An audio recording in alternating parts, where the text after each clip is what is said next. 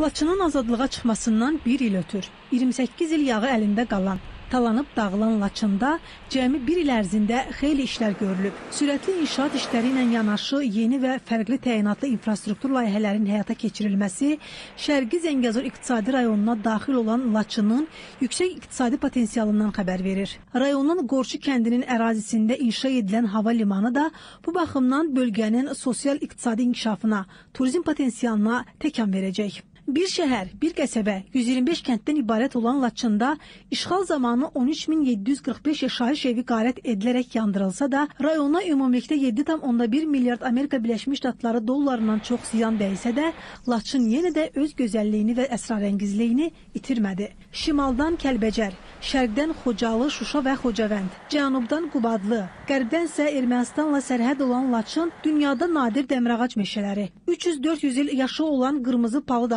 ağacları, mineral sular, müxtəlif rəngli mərmər yataqları ilə zəngindir. Keyfiyyətli su mənbələri, 20-dən çox müalicə əhəmiyyətli bulaqlar da mövcuddur bu yerlərdə. Mineral bulaqlardan vaxtilə müalicə məqsədi ilə istifadə edilirdi. Bu isə onu deməyə əsas verir ki, Laçının turizm imkanları da olduqca genişdir. Laçın rayonu ölkəmizin inzibati ərazi bölgüsü olaraq sahəsinə görə 8-ci rayon olmaqla kifayət qədər özündə geniş iqtisadi potensialları cəmləmiş bir rayondur. Turizm eyni zamanda da isti su kimi potensialın mövcudluğu e, bu rayonda turist axınının daha yuxarı səviyyədə olmasına gətirib çıxarılmışdır.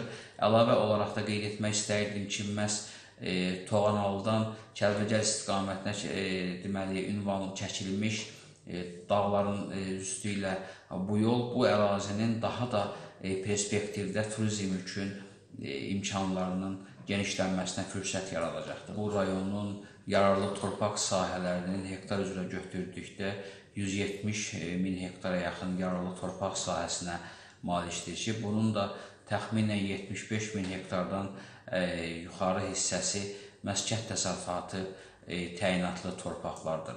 Nəzərə alsaq ki, hazırda respublikamızda Avropa İttifaqı arasında dəyəri ixracı ilə bağlı bir razılaşma əldə olunmuşdur.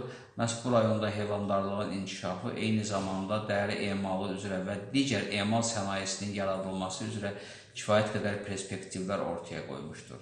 Beləliklə azad edilən bölgələrin, Şərqi Zəngəzurun, Qarabağın bərpası insanların bu zonaya qayıtması üçün yeni imkanlar yaradacaq.